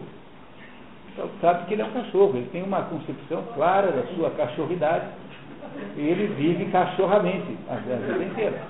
Nós aqui é não sabemos bem o que nós somos, porque nós existimos dentro de uma ambivalência existencial que é a sermos dos dois mundos. Na Bíblia está escrito assim: Vós não sois desse mundo, mas vós estáis nesse mundo. Isso está se dizendo que nós somos seres intermediários. Platão dizia assim: o homem é o intermediário entre o animal e o anjo. Pois é, a mesma ideia. Dita de um modo grego e de um modo judaico. É a mesmíssima ideia, não tem nenhuma diferença. Né? Do modo cristão ou do modo grego. É a mesma ideia, não tem nenhuma diferença. Pois a Terra tem essa oscilação natural. E, e essa oscilação natural é a chave do enigma aqui. Já vamos chegar nela, tá, Silvana? Foi bem, bem lembrado, tá? Continuando. Rápido o vigor e os brilhantes membros do príncipe cresciam, e com o girar do ano, enganado por repetidas instigações da terra, soltou a prole o grande crono de puro pensar, vencido pelas artes de violência. Então, esse Zeus que rápido o vigor e os brilhantes membros do príncipe cresciam. O príncipe quem é? Zeus. E com o girar do ano, quer dizer, com o passar do tempo, enganado por repetidas instigações da terra, ou seja, o pai dele, né, enganado pela terra, pela mulher, né, pela mãe, né, desculpa, pela mãe, soltou a prole do grande crono de curvo pensar, soltou os seus irmãos que estavam presos lá na barriga, que são os olímpicos, né, que estão presos na barriga do, do estavam presos na sua própria barriga, vencido pelas artes de violência do filho, artes de violência do filho, ou seja, pela ação concreta de recuperação do poder. É isso que faz. Primeiro vomitou a pedra, por último engolida. Deus cravou-a sobre a terra diante das vias, em deltas divinos, nos vales ao pé do canal.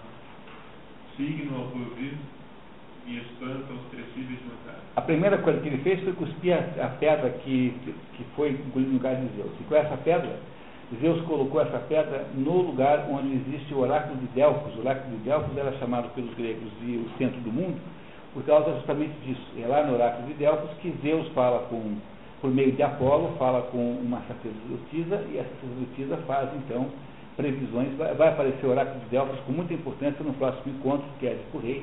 Vamos entender muito melhor como ele funciona, né?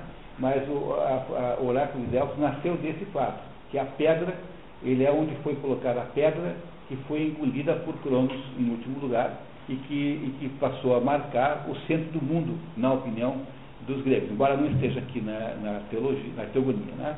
mas essa pedra marca o centro do mundo, do mesmo modo que Jerusalém é o centro do mundo do seu ponto de vista cristão. Não é isso? E também judaico, porque o judeu não está preocupado com Jesus Cristo, mas está preocupado com o templo. É? Então, é, por outras razões, também é o centro do mundo para o judeu. Uh, o, que é, o que é para um judeu Jerusalém, para um cristão Jerusalém, é para um grego Delfos, onde havia o grande oráculo de Apolo. Podemos continuar? Ele livrou das perdidas prisões, os tios paternos, trovão, relâmpago e ágios de violento ânimo, filhos do céu a quem o Pai em desvario prendeu. É, livrou aqueles três que são aquelas forças básicas da natureza, que havia sido preso né, por, por, por Urano. Seu, são seus tios paternos, na verdade, né, porque ele é filho de Cronos. Logo, ele é, ele é sobrinho desses três aí. E eles, lembrados da graça benéfica, deram-lhe o trovão e o raio flamante, e o relâmpago que antes terra prodigiosa recobria, eles confiante reina sobre os mortais e imortais. E foi assim que Deus optou, adotou como arma o relâmpago porque ele precisava da ação concreta, da possibilidade de intervenção concreta para poder agir sobre o mundo. Como é que ele fez isso? Libertando seus tios que representavam essas forças. Aí nós temos a história do Prometeu. Nós não vamos ler isso porque ela é muito longa, mas eu vou contar para vocês o que está aqui. Essa é a mais antiga história da, do Prometeu, porque o Prometeu é filho de Jápeto. Jápeto é um titã, portanto ele é um, ele é um titã por uh, analogia, ele é uma espécie de titã de segunda geração, vamos falar assim. E esse Prometeu tem dois irmãos. Tem o Atlas, que é o sujeito que fica segurando o mundo nas suas costas, tem um, um, um outro irmão cujo nome não lembro agora, e tem o seu irmão problemático, que é o Epimeteu. Né? Porque o Epimeteu é o contrário do Prometeu. Porque o, o Prometeu é o sujeito que o nome Prometeu significa que você planeja e faz as coisas planejadamente. Você pensa no que você vai fazer. Pro, pro, pro é isso, né? Prometeu significa pensar no futuro. E o epimeteu é o sujeito que faz as coisas e depois pensa no que fez. O, o epimeteu, portanto, é um bobão, esse epimeteu. E Deus teria dado ao epimeteu a tarefa de distribuir para todos os animais da terra alguma habilidade para que eles pudessem sobreviver. Então deu para ele uma caixa de habilidades, ele saiu distribuindo. Então vai lá, deu para o tigre a velocidade, deu para as formigas a capacidade de andar em grupo, deu para o, a lebre a velocidade, enfim. E como ele não planejou fazer isso direito, chegou no final da caixa não sobrou nada para os homens. E os homens então não tinham nenhuma defesa. E, e aí ele faz o quê? Ele pega, conta o assunto para o irmão, o irmão era mais inteligente que ele. Né? O Epimeteu e o Prometeu são mais ou menos como o, Pink e o cérebro. Sabe aqueles dois? É mais ou menos essa comparação possível. Assim, né? O Pink e o cérebro. Aquele desenho que tem o Pink e o cérebro, o, Prometeu é mais o cérebro e o outro é mais o Pink. E aí o irmão falou assim, bom, então já sei, vai lá e roubou o fogo, foi na oficina do Efesto, Não é? O sexto é tio dele. Vai lá e rouba o fogo, que é o fogo simbolicamente da inteligência, e dá para os seres humanos. É, o, o Zeus já não gostou nada disso, porque afinal né, foi uma coisa é, que não estava combinado de fazer isso. Mas pior ainda foi que o Prometeu arrumou lá um churrasco no céu e, e tentou aí eh, tapear o, o, Zeus, escondendo a melhor parte da, do churrasco, da carne, eh, de modo que Deus pegasse o pior e ficasse com a melhor. Ah, o que, que, é isso, em última análise? É apenas a rebelião do ser humano querendo ser mais esperto que Deus. Né? Não é isso? Não é a rebelião, é que exatamente a rebelião do, da, da, da, do fruto proibido? Pois é exatamente a mesma ideia, não tem nenhuma diferença em si própria. É a ideia da rebelião do fruto proibido. É? Aí Deus faz o quê? Deus manda prender o Prometeu numa rocha, é uma peça de teatro chamada Prometeu Acorrentado, de Ésquilo, que conta isso muito bem, e fica lá Prometeu acorrentado. Por que, que fica acorrentado? Ah, porque que fica é que é a parte boa da história. Porque se no fundo, no fundo, Prometeu queria ter as coisas, por exemplo, com a carne, né, que era o acesso àquele, àquele elemento da terra, e não deixar aquilo para, para Deus, então ficar acorrentado à terra é o melhor castigo que você possa imaginar. É um castigo que tem uma simbologia muito grande. Já que você é tão ligado às coisas da terra, então fica acorrentado a ela. É o sentido da, do acorrentamento de Prometeu àquela rocha. E para Epimeteu, Zeus faz uma coisa muito pior, que é mandar para ele uma namorada. Antes, antes, dele, antes de ele, antes do, antes do Prometeu é, arrumar essa encrenca toda, ele falou assim para o irmão, agora, agora você não faça mais nada. Você não aperte botão nenhum, não faça nada, não mexa em coisas, fique quieto. E não aceite nenhum presente de Deus. Não aceite nada. Aí Deus convoca lá no Olimpo os outros deuses e juntos eles desenham uma criatura perfeita. E essa criatura perfeita chama-se a mulher. E a mulher é um, foi um ser desenhado pelo conjunto das opiniões dos deuses. Cada um deu uma contribuição. Nos aspectos mais eróticos foi a Afrodite que desenhou, nos aspectos, digamos, mais familiares foi a Estia quem desenhou, e assim por diante. Fizeram então a mulher, e essa mulher tem o nome de Pandora. E essa mulher é mandada para Epimeteu como namorada, como presente de Deus para ele. Ele que viu aquela noite ficou desesperado, ficou louco, não esqueceu que o irmão tinha dito para não aceitar. E ela tem uma caixinha, chamada Caixa de Pandora, que, que era exatamente a armadilha, porque o que os Deus queria é que o bobão do Epimeteu né, aceitasse o presente, abrisse a caixa sem tomar cuidado, e dentro da caixa existem todos os problemas da humanidade que uma vez soltos não podem mais ser colocados de volta. Ou seja, já que o homem ficou inteligente com o, a sessão indevida daquele fogo, pretexto, pois agora vai ter problema para usar a inteligência. E que se presta a esse trabalho de, de, de servir de, de instrumento para isso é o bobão do Epimeteu. Não é? Não é isso? Ora, quem é que corresponde na mitologia, na, na, na, no mito é, judaico-cristão? a Pandora? pois é Eva. Pois eu, eu não falei para vocês aqui a noite inteira que a Eva não é mulher no sentido do sexo feminino. A Eva da história mito-poética cristã não é a mulher no sentido feminino. A, o que a Eva representa é um negócio chamado desejo. É o, o desejo, o desejo exacerbado das coisas da terra. Isso aqui é a Eva. Ela é um componente que está em todas as pessoas, homens ou mulheres, mas ela você olhar com cuidado o Gênesis, a mulher já tinha sido inventada antes da Eva. Ela não é de modo nenhum a primeira mulher. Portanto, a mulher, a Eva representa o desejo. Olha o que, que a Pandora representa: o desejo. O que, que é, portanto, a Eva e a Pandora, que representam a mesma coisa nas duas histórias? É a, a exacerbação do desejo humano pelas coisas da terra. É isso que esses dois representam. Deus precisa criar isso. É uma ideia meio diabólica, mas é uma ideia que tem todo o sentido do mundo. Porque Deus precisa criar alguma coisa para dar mérito ao homem. Portanto, se você não tiver alguma coisa para desejar e, isso, e, e poder contornar o desejo, não há mérito nenhum. Porque, veja, porque, por outro critério, todo mundo vai para o céu, os cachorros vão todos para o céu. Alguém tem dúvida que todos os cachorros vão para o céu? Todos vão. Por quê? Porque os, os, os, os cachorros não precisam passar pelo teste do desejo. Quem é que passa pelo teste do desejo? Quem passa pelo teste do desejo são os seres humanos, mas os, os desejos são em si legítimos, porque você tem uma existência material e concreta e física que tem que ser resolvida.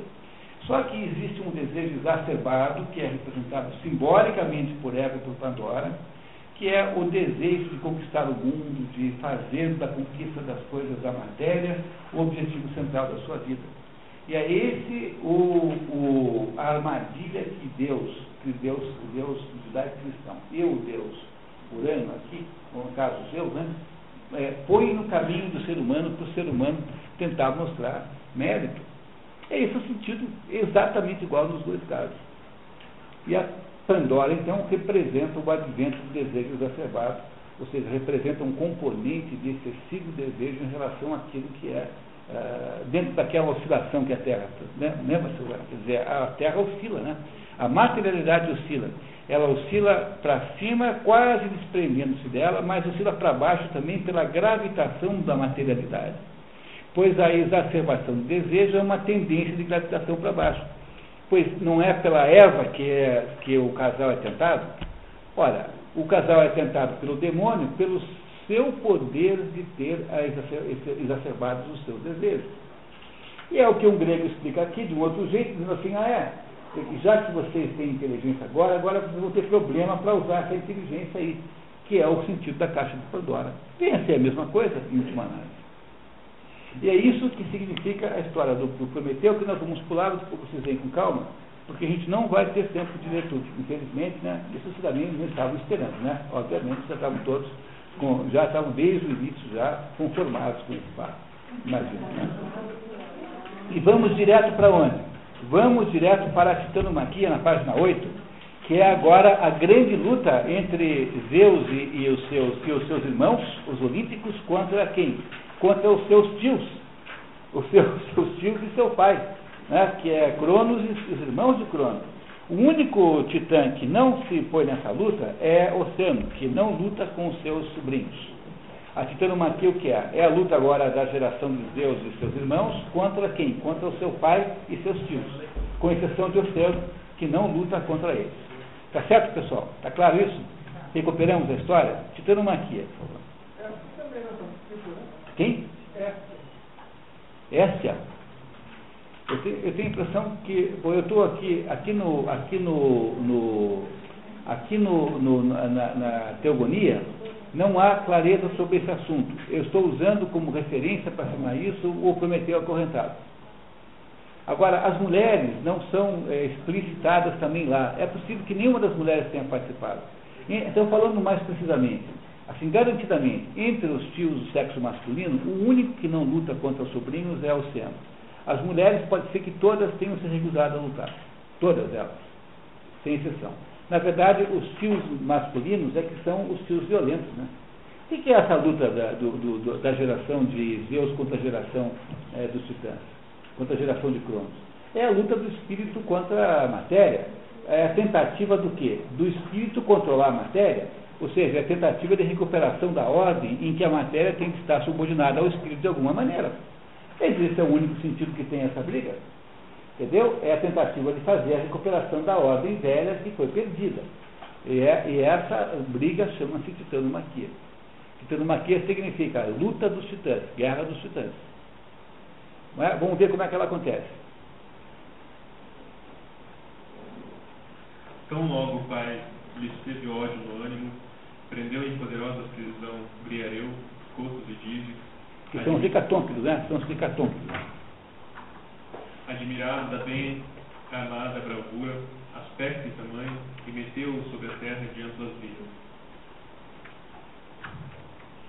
Aí, doloridos sobre a terra, habitando, jaziam nos confins e fronteiras da grande terra, com longas angústias e grande mágoa no coração.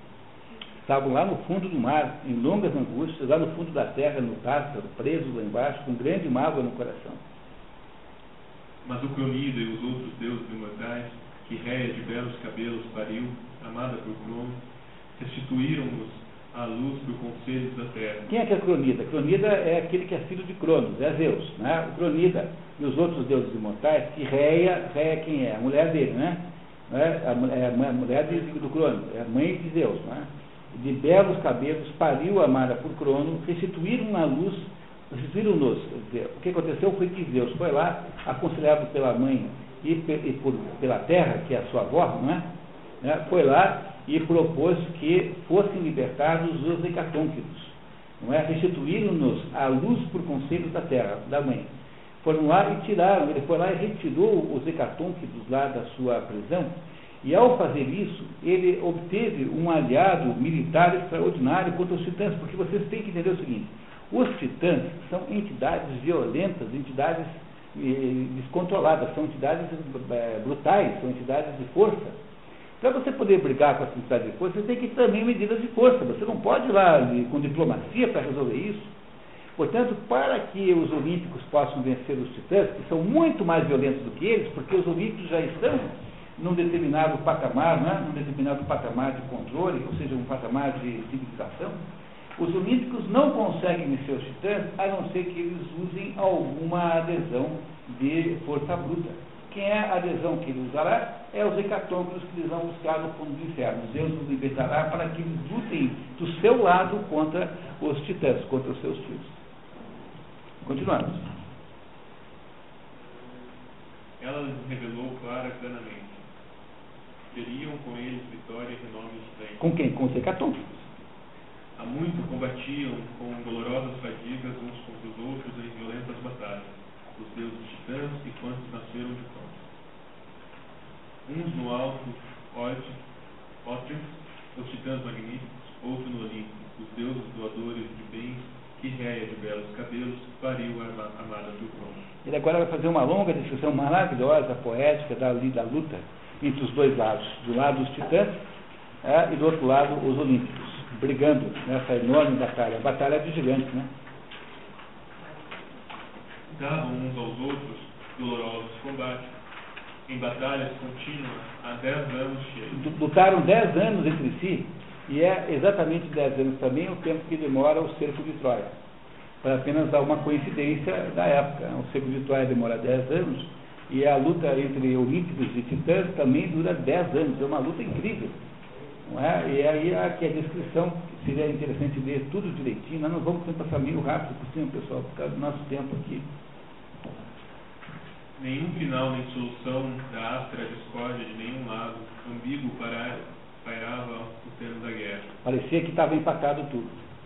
Mas quando aqueles ofereceu todo o sustento, néctar e ambrosia que só os deuses comem, no peito de todos cresceu o ânimo viril. Olha que maravilha, né? Mas quando Deus, aqueles, quem são aqueles? São os hecatônquimos, ofereceu todo o sustento, néctar e ambrósia.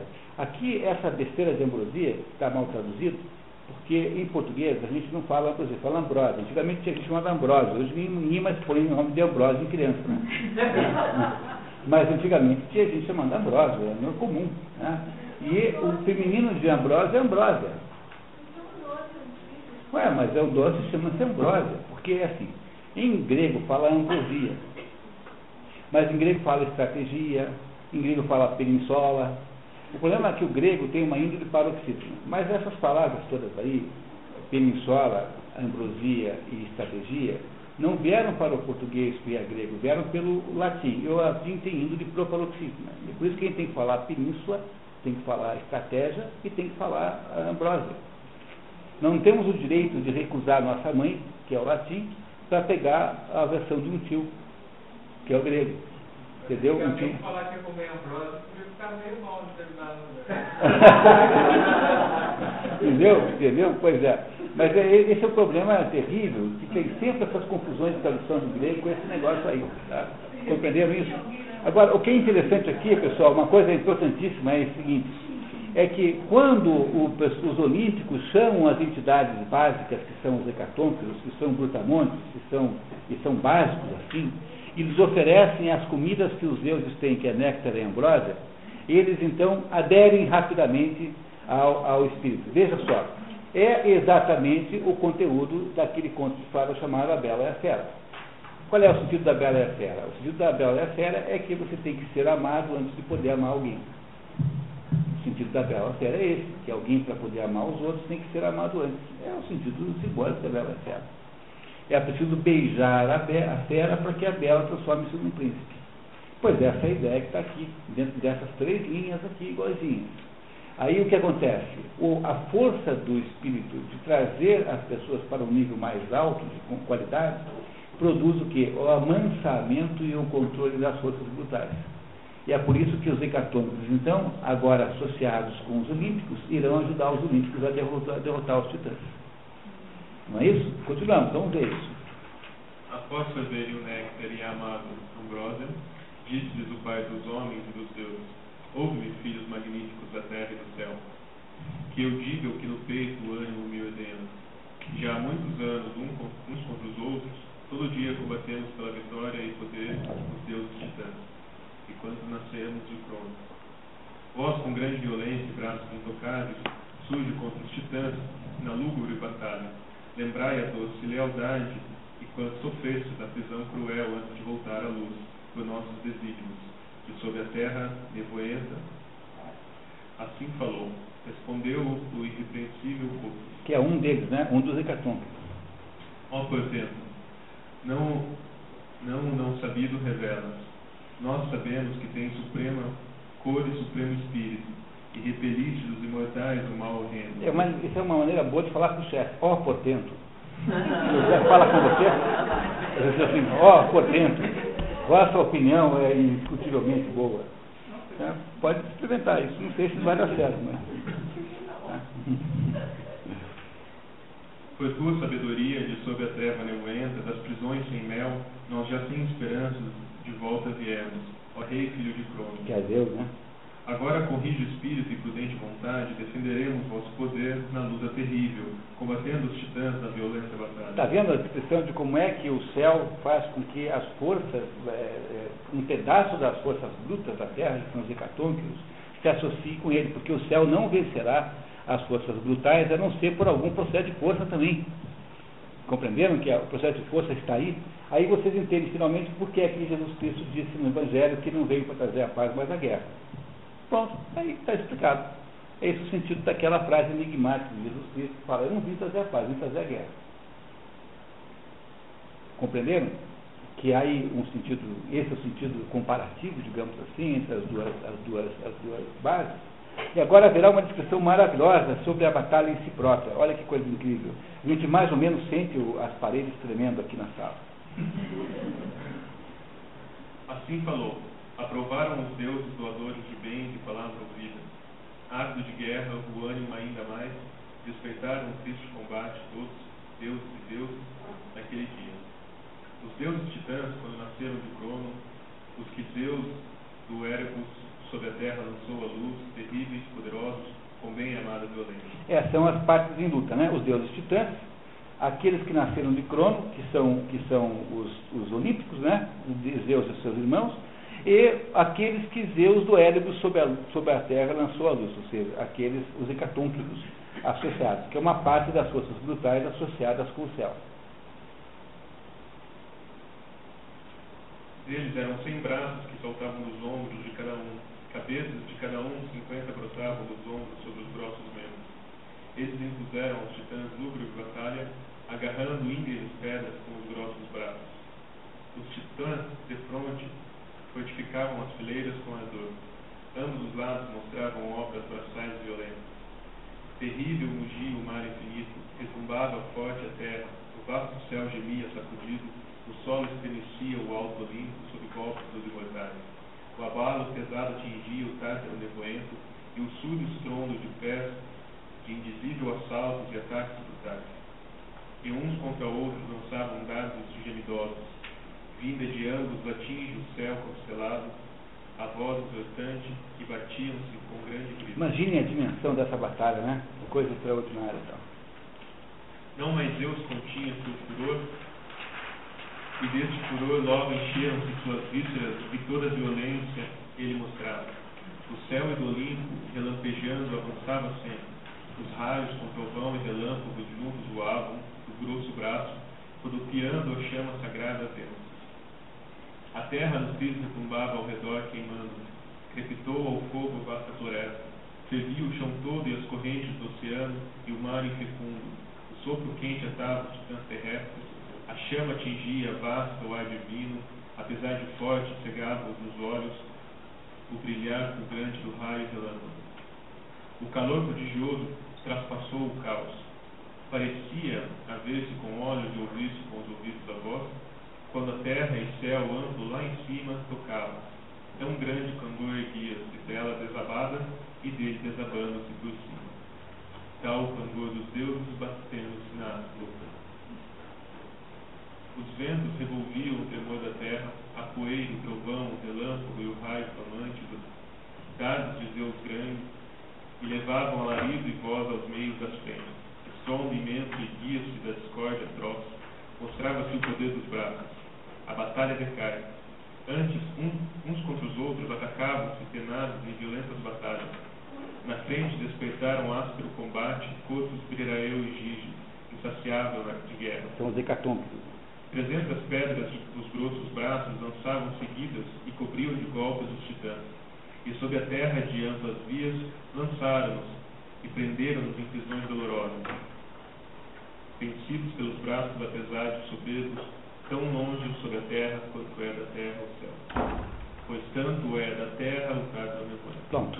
Venceram os, venceram os olímpicos com a ajuda dos, dos e mandaram os tios para o Tártaro e os tártaros, então, indo para o tártaro significa que foram para, os, para o mundo inconsciente, o mundo escondido, aquelas forças terríveis da matéria, aquele desejo de assumir o poder, que é o desejo ilegítimo da matéria, foi controlado pelo quê?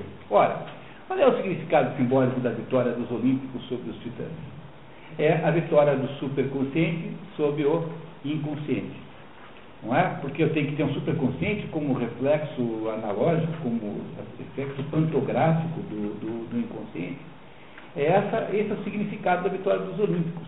Houve a recuperação da ordem com a retomada do espírito é, do poder sobre a matéria, que é a ordem inicial desde o início. Não é isso? No entanto, aí você tem a descrição do Tártaro em seguida, que não tem grande importância, porque, porque é, ela é muito bonita e tal, mas aqui a gente vai perder muito tempo. E aí o que acontece é que a matéria não se dá por vencida e era, me desculpe, era Gaia, a mãe terra, não é? Gaia, é, acha que é possível fazer um outro ataque. Ela está o tempo todo oscilando, né? E inventa um gigante chamado Tifeu, que é a origem desses nomes que tem hoje, Taifun, que é tufão, Taifun, tufão, Todos eles são homenagens. Tem um avião chamado Typhoon, ah, um avião cujo apelido é Typhoon, um avião de guerra. Tifeu Typhoon é esse monstro que foi inventado aqui pela Mãe Terra, que é uma última tentativa de derrubar Zeus. Zeus, então, é, esse monstro é tão medonho, tão horrível, e está descrito aqui essa luta também, que nenhum dos outros olímpicos entra na briga a não ser Zeus. E por que, que Zeus está sozinho nessa última luta contra a Mãe Terra? É porque Zeus não, o espírito não teme a matéria de modo nenhum. E aí que Zeus, nessa última luta aqui, confirma o seu status de Deus, de Deus eh, preponderante, ou seja, de entidade divina acima de todas as outras. Que é a razão pela qual ele é Deus e os outros não são. Embora eles sejam todos irmãos, ele e os seus bons irmãos é, olímpicos. Ele enfrenta sozinho Tifeu e vence finalmente a luta, e a partir então dessa vitória de Zeus contra Tifeu, que foi a última tentativa da matéria de se rebelar, aí há toda a descrição aqui na obra de, da, do nascimento desses deuses que nós conhecemos hoje. De como é que Apolo vai nascer, como é que vai nascer não sei quem, não sei quem, como é que vai. E todos esses deuses modernos são descritos em seguida.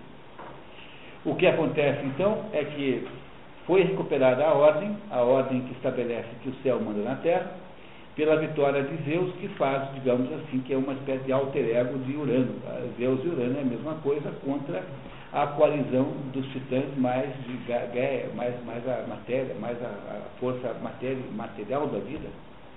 E nós poderíamos dizer que essa vitória foi definitiva, a não ser que a gente olhe um pouquinho. Quando eu olho esse movimento ambientalista, por exemplo, eu acho que isso é uma nova tentativa de derrubar Urano, sinceramente, com toda a sinceridade não tenho a menor dúvida disso. É essa coisa de transformar a natureza em deusa, em entidade de, de, de divinização que se faz hoje aí, o que, é isso, na verdade? É a, transforma, é a recriação, é um nove com, agora um golpe muito mais sofisticado, né? Não é isso? Agora, passado esse tempo todo, você tem um golpe muito mais sofisticado, que é o golpe sutilíssimo da aparência de, da aparência de, de digamos, de humanidade que está por trás disso. O movimento ambientalista nada mais é do que uma tentativa de recuperar o poder para Gaia. Não, é? é não tenho a menor dúvida disso. É uma nova, um novo round nessa luta.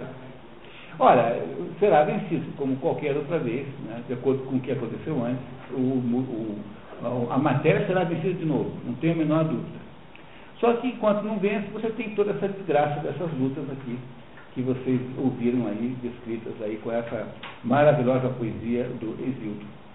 Se vocês entenderem isso que nós entendemos hoje, vocês entenderão toda, toda a literatura grega. Não há nenhum, é, nenhum elemento da literatura grega que não esteja de alguma maneira ligado a essa interpretação. E essa, e esse, e essa aplicação prática disso, nós vamos fazer daqui a um mês com a leitura de Édipo Rei. Quando a gente vai poder interpretar, então, uma peça, uma tragédia de Sófocles, chamada Édipo Rei, aos olhos dessa interpretação, e vocês entenderão então facilmente, vocês irão matar a interpretação da peça, não vou ter nem que contar no final, vocês saírem no final, vocês saberão sozinhos o que é que significa aquilo.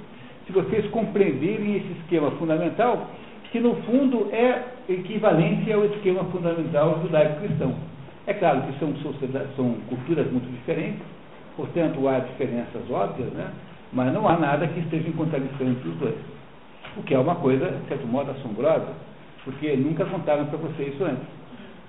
Não é? E a gente devia ter aprendido isso há um tempo já, né? Já estava na hora de a gente ter aprendido isso. Né?